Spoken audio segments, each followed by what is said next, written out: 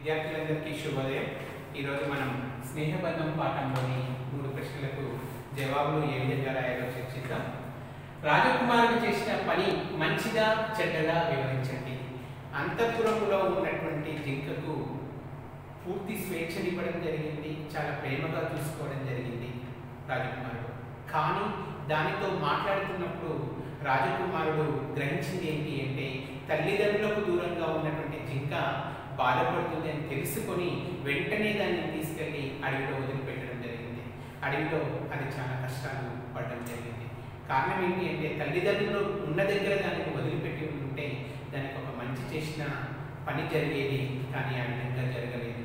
తర్వాత రెండో ప్రశ్న దగ్గరికి మనం వస్తే ఎలుక తాబేలును ఎందుకు కోపడి ఉండవచ్చు? ఈ కథలో ఎలుక తాబేలు కాకి జింక నలుగురు స్నేహితులు. జింక ఆపదలో ఉందని కాకి ఎలుక వెళ్ళి రక్షించి తీసుకొని వస్తున్నప్పుడు తాబేలు ఎదురుపడడం జరిగింది. కాకి తాబేలు మీద కోప్పడడం జరిగింది. ఎందుకు కోపడి ఉండొచ్చు అంటే తాబేలు మిగతా వాటిలాగా వేగంగా పరిగెత్తలేదు. అది భూమి మీద చాలా మెల్లగా నడవగలుగుతుంది. ఏదైనా ఆపద వస్తే అది తప్పించుకోలేదు అన్న ఉద్దేశంతో ఎలుక కోప్పడి ఉండవచ్చని మనం అర్థం చేసుకోవచ్చు. ఉపాయంతో అపాయాన్ని తప్పించుకోవచ్చు ఎట్లాగో చెప్పండి. ఉపాయం ఉంటే ఎంత పెద్ద అపాయం ఉండైనా మనం బయటపడవచ్చు అని చెప్పి అనేక కథల్ని మనం కథల ద్వారా మనం గతంలో తెలుసుకున్నాం. ఈ కథలో కూడా తాబేలు పట్టుకున్నటువంటి వేటగాడు దాన్ని చూసినటువంటి జింక కాకి మంచిగా నటించడం జరిగింది. జింక చచ్చిపడినట్లుగా కాకి దాని కళ్ళు పొడుస్తున్నట్టుగా నటించడం.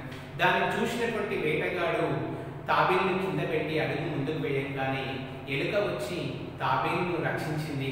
తాబేలు మడుగులోకి చేరుకుంది. వెంటనే ఆ వేటగాడు దగ్గరికి రావడం చూసినటువంటి జింక పారిపోవడం కాకి ఎగిరిపోవడం జరిగింది. ఆ పక్కనే ఉన్నటువంటి రంధ్రంలోకి ఎలుక వెళ్ళి ప్రాణాన్ని రక్షించుకోవడం జరిగింది. అంటే ఈ ఈ కథను చూస్తే ఎంత పెద్ద ఆపద నుండైనా ఉపాయం ఉంటే మనం బయటపడవచ్చు అని అర్థం చేసుకోవచ్చు. ఓకే అమ్మా?